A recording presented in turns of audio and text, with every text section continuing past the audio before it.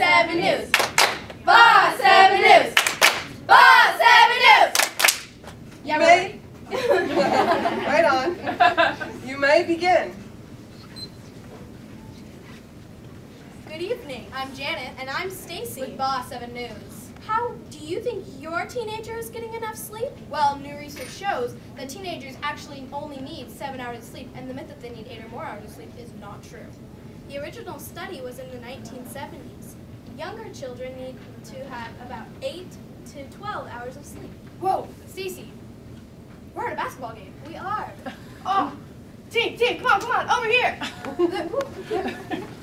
basketball. Well, yeah, number nine, number nine. Now we will go to Andy with an interview with a teenager named Tegan with her opinions about sleep. And this teenager is so lazy that she brought her bed to a basketball game. Andy? Andy?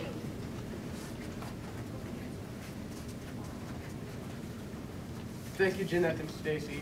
I'm Andy, and I am here with this girl, this young teenager named Tegan.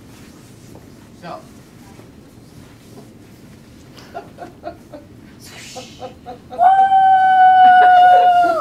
so you brought your bed all the way to a basketball game? Well, of course I did. But wait, before you ask the questions. OMG, I'm at the, I'm on the news! Go to Channel 7! Sorry, what were you saying? Slam dunk! So, how many hours of sleep do you get each night?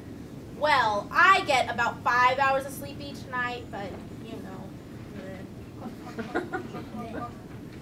Do you think you need more or less sleep? Well, I could use more, but I mean, you know, I'm up so late texting and on Facebook all night. I'm fine with less. How do you do during the day with just that much sleep? You know, I normally fall asleep during pre-calc, but like my teacher doesn't really. Well, she cares. She cares a lot, but oh well. well, she probably should care. yes. Well, well, thank you for your time. I'm Andy with Boss 7 News, now back to the newsroom with Jeanette and Stacy.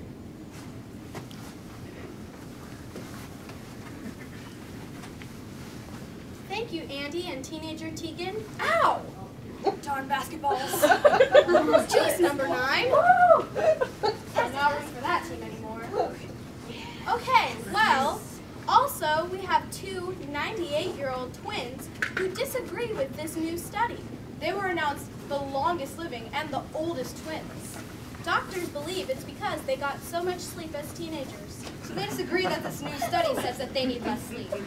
And now we'll interview one of the twins with Juliet. Juliet?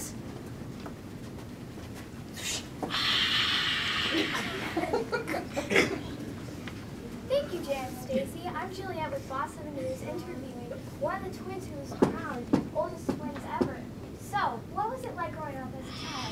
Get your head in the game, come on! All these basketball players. when I was growing up, it was, it was actually kind of difficult because my sister was uh, smarter than me and she was prettier than me and kind of crowned prom queen, but you know, it was, it was, it was nice. So did you and your sister get along? Well, um, when you kind of look like a person and you act like that person and you kind of live with that person, you kind of have to learn to get along with them. How do you feel now? Old and wrinkly. so recent studies show that teenagers now need less sleep. Do you agree with this? Why or why not? You know, I, um, I actually don't agree with this. You know, I just love sleeping in till 5 p.m. on Sunday afternoon. Well, thank you for your time. I'm Juliet with Actually, you know, all of you out there, you could use more sleep. Because you could live to 90.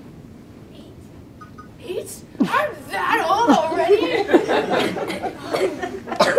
well, thank you. I'm Juliet with Boss 7 News. Now back to Jeanette and Stacy in the newsroom. Goodbye, everyone. Thanks, Juliet. Well, that lovely scene, that lovely lady is very nice, and I do agree you should all get more sleep. And now, we believe we need some sleep because this basketball game's just gone on too long. Good night.